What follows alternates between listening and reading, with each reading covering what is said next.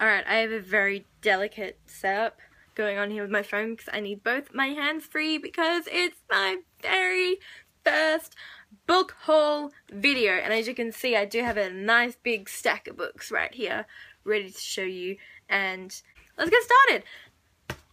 Okay first off I have these two. These um I'm not sure if you can read them there's Une si longue lettre by Mariama Ba and there is Art by Yasmina Reza these are two textbooks that I had to buy for my French lit unit so I'm not looking forward to reading them but I have to do it anyway so plus I bought them so they're in my book haul.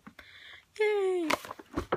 Next up, we have a book that I've already talked about in my last video. So I'm just going to link you to that down below so you don't hear me going on about it. It is Amy and Roger's Epic Detour by Morgan Matson. And, um, yeah, there's, you know, I've already spoken about it, so I don't need to talk about it again. So, yeah. We have Eleanor and Park by Rainbow Rowell. This book, um, I know pretty much nothing about it except that it's about two people called Eleanor and Park, and it's written by Rainbow Rowell. So, um, I've read Fangirl, so if it's anything like that, this should be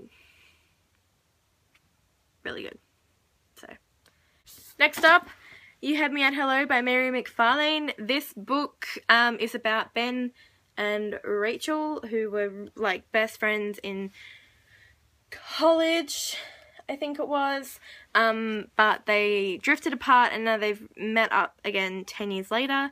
Um, the tagline is what happens when the one that got away comes back. I found this one at my friend's house and um, she had to go and do something and I started reading it but she said that she hadn't finished reading it yet so I bought my own copy because it looked pretty good um, and I haven't opened it up again so I'm looking forward to reading it at some point. Um, it will definitely get done, but it's quite a thick book and I don't have time for that sort of commitment. But the cover's really pretty, so yeah. Next. Strange and Beautiful Sorrows of Ava Lavender by uh, Leslye Walton.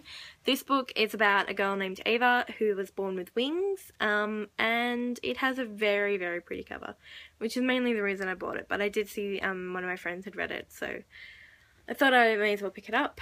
And yeah, so look how pretty it is. And it's gold and shimmery. Oh, it's so pretty. It's so pretty. The next two books I'm not going to spend much time on because I have spoken about this series in um, my Moon Over Soho video. Um, these are uh, Broken Homes and Foxglove Summer by Ben Aaronovitch. Um, these are the fourth and fifth books in the Rivers of London series and um, just continues on the story. I can't say much without giving away spoilers, but in this one they're investigating um, a spate of deaths that seem to be linked to a uh, apartment complex in Elephant and Castle and this is about two girls who go missing in uh, Rushpool. Yeah, so um, those two, I have already read them because I wanted to know what happens.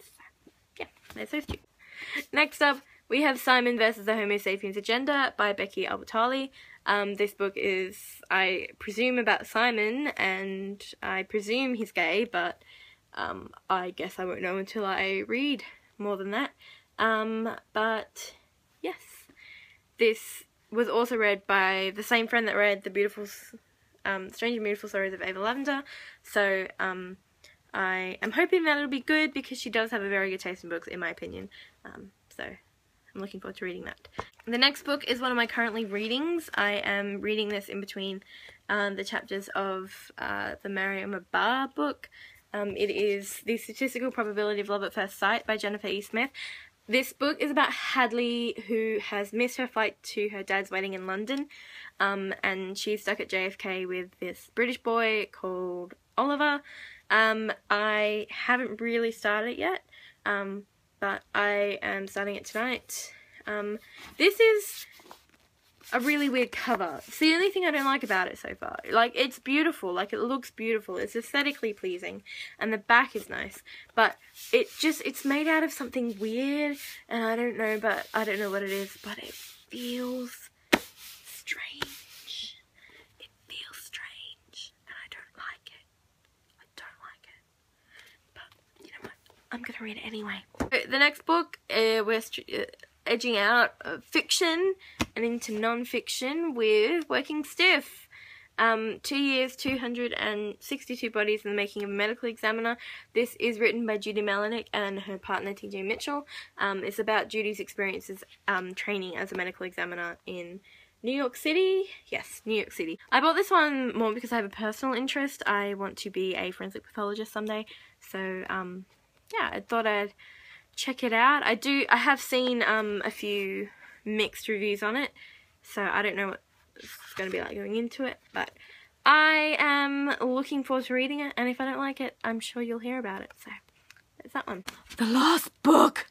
About time. Super Mutant Magic Academy by Jillian Tamaki. I first saw this book um, when I was watching Ariel Bissett's Booktubeathon updates. She seemed very excited about it, so I thought I would check it out. The um, art's looking really good. Um, on my bookmark in there. I have already started reading it. Um, this is about, I'm guessing, super mutants at a magic academy, and it's just like little comic strips about what happens. Um, I haven't seen the real plot appear yet, so I don't know if, if one is going to show up or if it's just like a little like sketch thing. Um, but I'm really looking forward to it, and it should be good. That's all of them. all of them. There's going to be more next month. I can already tell you that. I already know for sure that there's going to be more next month because this was only like 12 and I've already ordered 7 since this morning. Next week I will be doing a um, sort of a August wrap up and September to be read so I'll be talking about all the books that I read in August and I will be um, just giving you lowdowns on that um, and then I will be sorting out what I'm going to be reading in September um, so yeah, so um, that's going to be exciting. And that's it. Um, yeah, so bye. Next up, next up we have Simon versus the Homo sapiens agenda. Uh, agenda. Okay, okay. Uh, next, uh, Simon versus the Homo sapiens agenda by by.